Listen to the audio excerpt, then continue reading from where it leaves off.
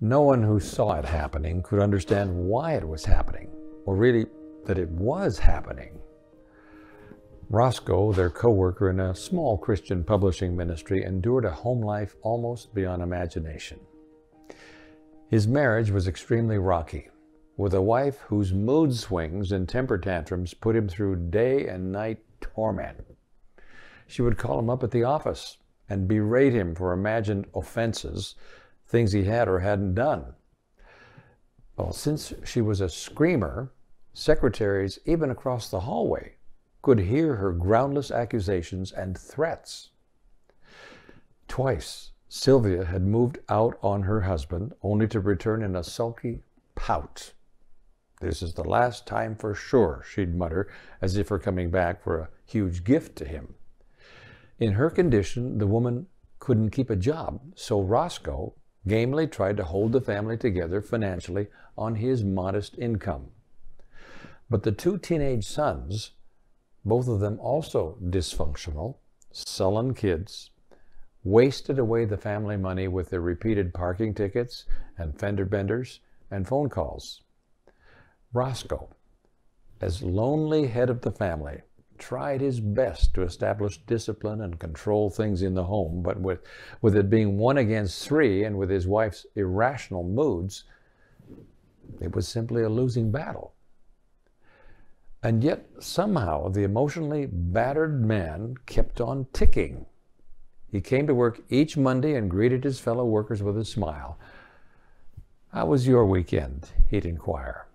If someone asked him the same question back, well, he'd make a familiar little gesture with his hand, hanging in there. Yes, sir, God is good. Only a very few knew how vicious and painful a 48 hours he'd just been through. How counseling and Sylvia's manic shopping sprees had eaten away his entire life savings. You know, as I read a story like that and sense the raw reality of his quiet, secret heartache, it gives me new appreciation for something Paul says here over in 1 Corinthians chapter 4. Now, earlier in this passage, he's made the point that all of us are stewards. Our gifts and talents and abilities come from God. He's in ultimate control, and we answer to Him. But in verse 9, Paul moves into a different theme with a decidedly changed tone. It seems to me that God has put us apostles on display at the end of the procession like men condemned to die in the arena. We have been made a spectacle to the whole universe, to angels as well as to men.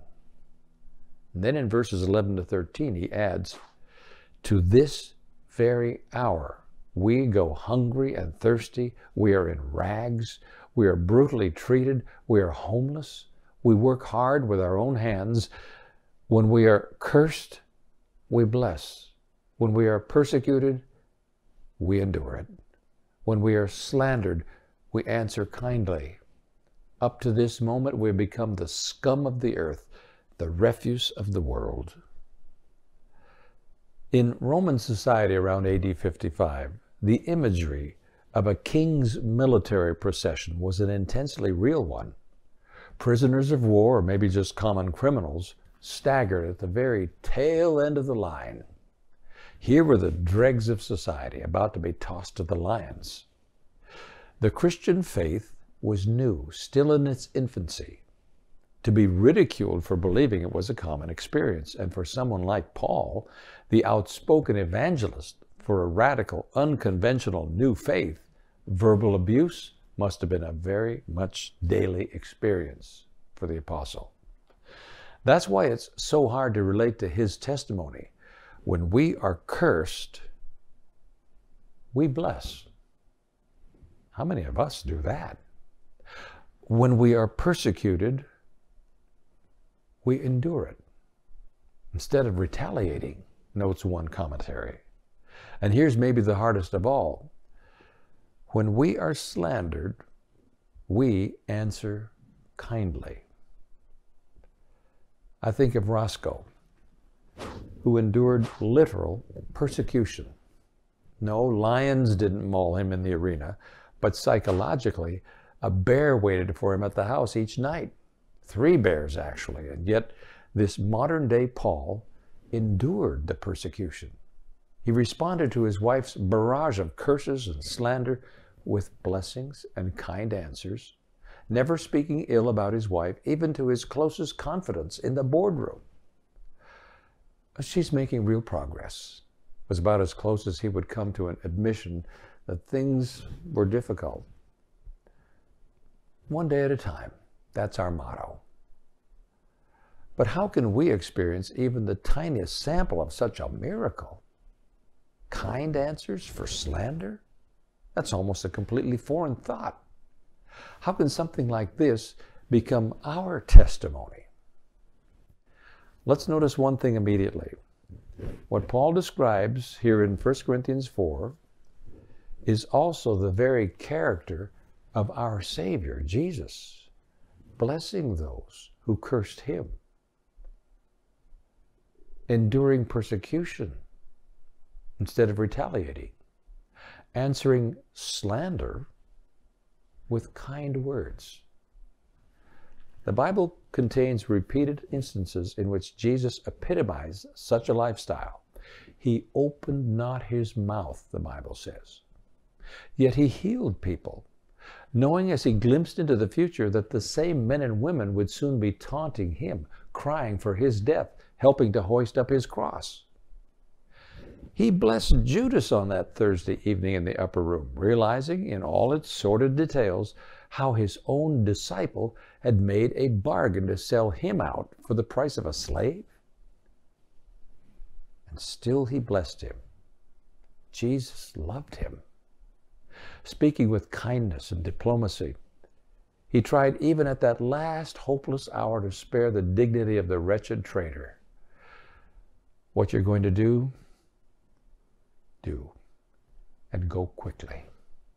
He murmured quietly, not exposing Judas's horrible act of betrayal to the other eleven. And then on the cross itself come those absolutely foreign, otherworldly, unbelievable words Father, forgive them, for they know not what they do. Luke 23 34. How can something like this possibly be? I mean, it turns the world upside down. Praying for your enemies, loving them, not resenting their insults, their verbal crowns of thorns as well as the literal ones. I can see two avenues toward victory here. Please don't get the idea that I've driven my little Ford Fiesta car very far up either road myself. But first, I go back to the beginning of this chapter in which Paul simply places events and people and the rough and tumble of all relationships into the hands of God. Don't judge people, he tells us. That's God's job. And God is up to the task. Wouldn't he equally encourage us? Lonnie, don't resent people either. Don't hate them. Don't long for their destruction, their payback time. If it comes to that, God will handle it. If someone deserves to fall to meet their demise, a higher judge than you and I will handle it. He'll mete out whatever punishments there needs to be. Our hot little insults, our return volleys, our counterpunches aren't really necessary when God is watching it all. Even those Christians who went to the real lions somehow sensed that God was watching over them. Not always to protect and rescue, though he sometimes did. But they felt the presence of their Heavenly Father. They knew His eyes were taking it all in. And they were content to leave their own fate and even their enemies' fates in His powerful hands. As for point number two, again, look to Jesus instead of to people. But Jesus saw people differently than we do. Even those who were whipping him, insulting him, crucifying him, slashing him with their studded belts and their cruel words, He looked through his blood and their rage and saw something different. He perceived broken people and wanted to fix them, recognizing the sickness of their souls. He desired to heal. Knowing how far they had fallen, he longed to pick them up and restore them. Beyond tarnished lives, he caught a glimpse of the original jewels he and his father had conceived in the original creation. Roscoe, who endured such grief from his wife, somehow had that kind of eyes in that shrill, impossible woman who had tormented him for two decades. He could still see a bride. He remembered the earlier sweetness, the brief loving moments before sin came in. Memories of times of courtship, years when love really was easy, a natural feeling instead of a gritty spiritual discipline. They still lingered. And this giant of a Christian, while leaving things in God's hands, was also able to keep on wearing the glasses of love. He looked at Sylvia and forced himself to see the bride God wanted to bring back.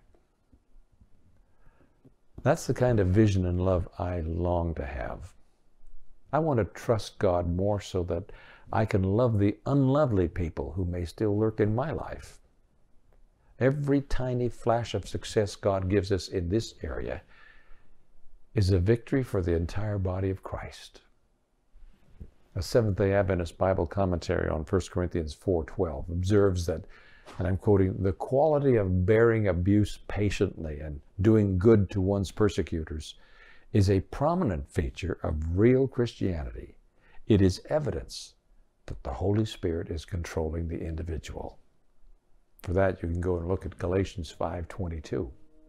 Such an attitude is contrary to worldly philosophy which teaches defense of one's rights and prompt retaliation for injuries or slights received from others. The followers of Christ are taught to leave the matter of revenge to the justice of God.